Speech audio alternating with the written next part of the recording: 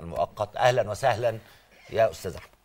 يا أهلا وسهلا سنده أهلا بحضرتك. أستاذ أحمد إيه رأيك في الموضوع اللي سمعناه دلوقتي؟ إن حضراتكم ما اخترتوش وقلتوا إن أنتوا هتتحملوا التكاليف وبعدين قلتوا اللائحة بتقول اللي هي اللائحة أساسا اللي كانت اتعملت قبل موضوع كورونا. رد حضرتك. لا هو هو هو اولا ده كلام محترم جدا. إحنا فعلا إحنا ما اخترناش لكن اللجنة اللي قبلنا اختارت حضرتك ال ال يوم 10 12 2020 وده ما كانش بعد الموضوع الكورونا ده مع بداية الموسم الحالي. إحنا صدر قرار الاتحاد الدولي بتكليفنا آه، بإدارة الاتحاد يوم 18 ديسمبر.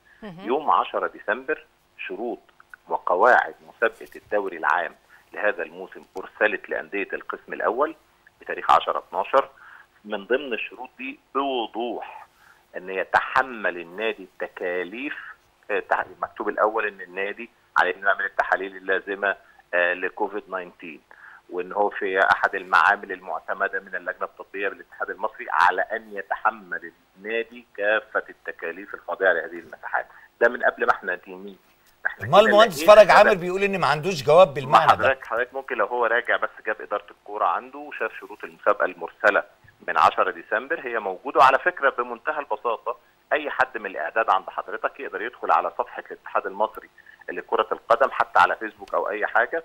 لو دخل على صفحة الاتحاد المصري وجاب الوثائق اللي موجودة هيلاقي من قبل تعيين اللجنة شروط المسابقة موجودة وهيلاقي فيها الكلام ده مكتوب بوضوح. وتاريخ الجواب 10 ديسمبر على فكرة. يعني من قبل ما اللجنة الحالية تعين. كل ما في الأمر الموسم اللي فات الجواب اللي بيتكلم عليه ال- المهندس فرج اللي هو بيتكلم على يوم اللي هو بتاريخ 5 8 اللي هو ما قبل 10 آه، ديسمبر. ما قبل الموسم اللي فات 5 8 5 أغسطس. ده كان بيتكلم عن العدد الزائد عن ال 33 إن النادي بيدفعه مباشرة بتحمله وعلى فكرة حتى الآن حتى الآن النادي بي- بي- بيسدد مباشرة الاكثر من ال 33 آه، للشركة مش من من خلال الاتحاد. الأعداد الباقية اللي هي 33 الاتحاد بيسدد مباشرة للشركة آه، مباشرة. وبيخصم أو بيعلي رصيد على الأندية. كل ما في الأمر إن إحنا عندنا لجان آه، من التفتيش ولجان رقابية بتسأل عما تم تحصيله من الأندية ولذلك ارسل خطابين الخطاب الأول بالمديونيات المستحقة على الأندية كان منهم يمكن ب 900000 أو حاجة يمكن اترد من سموحة تمام؟ وفي بعض ال- ال- ال- المديونيات الخاصة بالنادي المصري والإسماعيلي. أهو بوضوح مكتوب قدام حضرتك أهو. إن يقوم النادي بعمل التحاليل اللازمة في أحد المراكز الطبية المعتمدة خلال من خلال المعامل المعتمدة من اللجنه الطبية بالاتحاد المصري ويتحمل النادي جميع التكاليف الخاصة بالتحاليل أيوه يا فندم بس بس. اسمح لي يا باشمهندس أحمد هو طرح معانا كمان الباشمهندس آه، محمد فرج برد عامر على اللي حصل يا فندم أنا برد على اللي حصل ما بقولش رأيي أنا بقول على ال على ال على ال على الوقائع. يوم 10 ديسمبر 10 ديسمبر إحنا تعيننا 18 ديسمبر. فمن اللجنة السابقة إحنا جينا مع بداية المسابقة مرسل لجميع الأندية شروط وقواعد المسابقة واضح فيها بوضوح إن الأندية بتتحمل آه، كافة آه، تحمل النادي جميع التكاليف الخاصة بالتحاليل. تمام؟ إحنا ممكن نقول النهارده ويمكن امبارح حصل كلام مع أكتر من آه، رئيس نادي من السادة رؤساء انديه القسم الأول. والله الناس شايفة إن الاتحاد الشركة اللي جابها رغم إن الشركة في الآخر المعامل المركزية آه، هي بتروح بتجيب النتيجة من المعامل المركزية آه، لوزارة الصحة شايفين إن ال- ال- المبلغ المحدد آه، من الشركة هم شايفين إن هو مبالغ فيه والله لو الأندية بعتت قالت لنا إحنا الفترة اللي فاتت هنسدد أو هنجدول أو هنقسط لأنها في الآخر هي دي حساباته في لجان تفتيش طيب يا باشمهندس. على الاتحاد باشمهندس؟ أحمد هو عايز بعد كده يعمل ويجيب نتيجة معتمدة من أحد المعامل المعتمدة آه، في الدولة أهلا وسهلا الموضوع بسيط جدا مفيش مشكلة فيه يعني. طيب لكن با- الموضوع مش مش مش اتحاد الكرة اللي جه فجأة وقال هذا الأمر الاتحاد جه لقى دي الشروط وفي الآخر إحنا لما بيجي أي لجنة أو أي حد يفتش ويراجع على قواعد الاتحاد هذا بيسد غير بخلاف كمان المبالغ الطائلة اللي الاتحاد بيسددها اي حد هيجي يراجع يلاقي انت مطلوب منك ان انت تجيب من النادي ده 10 جنيه انت ما جبتهاش فانت بتحاسب ماليا على هذا الأمر. بس الموضوع مش أكتر من كده لا. طيب لا باشمهندس هو أحمد. تعنت ولا هو فجأة ولا أي حاجة. باشمهندس حضرتك مسؤول عن اتحاد الكرة وعن الأندية المصرية. فإذا افترضت. أن عندنا أدي- أندية لديها إمكانيات مادية ولديها دخل وحقوق رعاية تستطيع أن تساعدها. لكن المؤكد. حضرتك أعلم مني بأن لدينا فرق إمكانياتها ضعيفة جدا. ومستوى صحيح. الدخل والرعاية محدود جدا. لما أجي. أطالبهم خلال شهرين من بداية الدوري والكاس ب 3 مليون يبقى في السنة مطلوب مبلغ.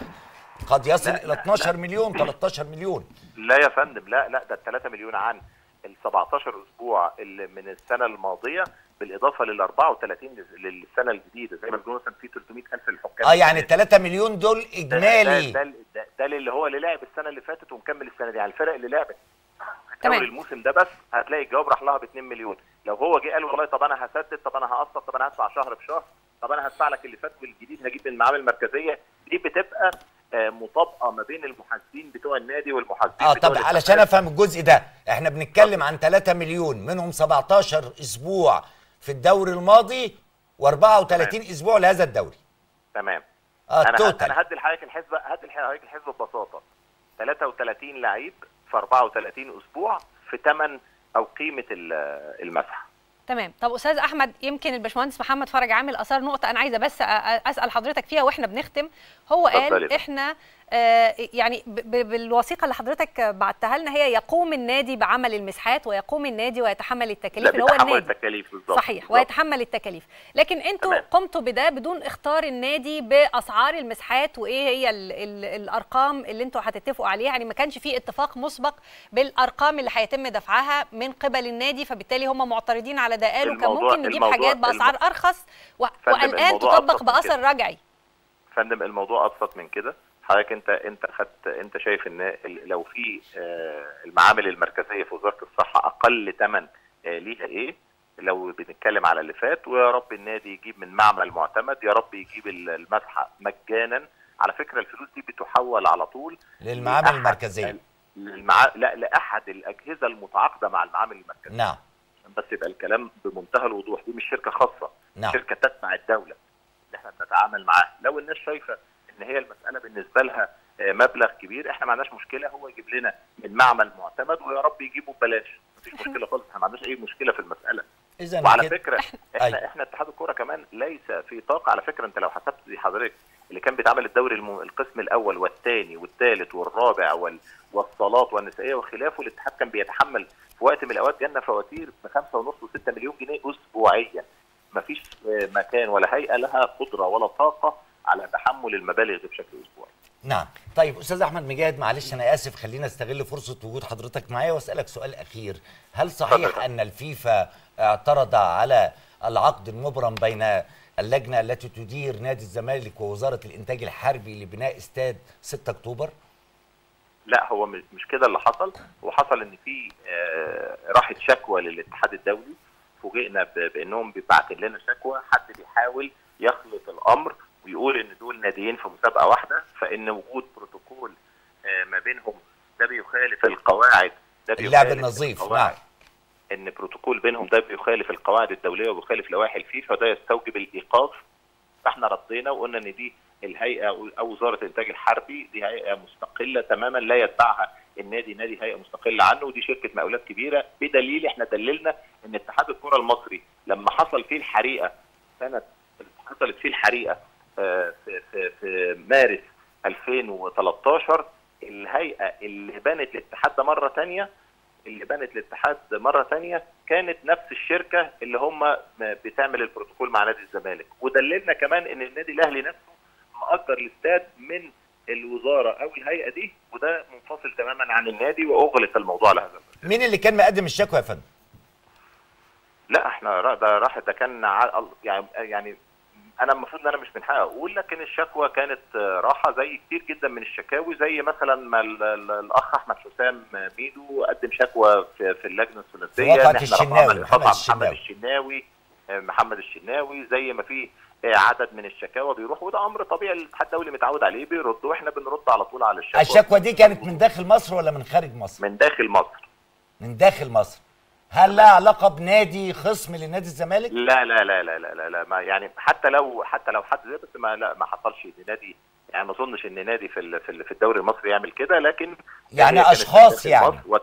آه بالظبط وتم الرد عليها ممكن يكون. الأشخاص دول لهم علاقة بنادي الزمالك إحنا ده إحنا حتى آه، آه، قلنا وقتها إن في أندية في بعض الدول بيتبع شركة الكهرباء معنى كده مثلا إن بقية الأندية ما توصلش كهرباء من عنده الاتحاد الدولي متفهم الموضوع لكن جات له شكوى ف- وإحنا ردينا عليها الفيفا تفهمت يا فندم؟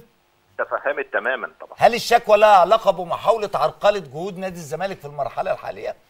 لا أنا مش أنا ما الله أعلم إيه سبب الشكوى لكن ده في في إطار عدد كبير من الشكاوى اللي راح آه، ممكن يكون آه، كمان هو مين يعرف آه، إيميلات الناس اللي موجودة في الاتحاد الدولي في هذا التوقيت ويعرف بعض التفاصيل اللي موجودة جوه اتحاد الكورة.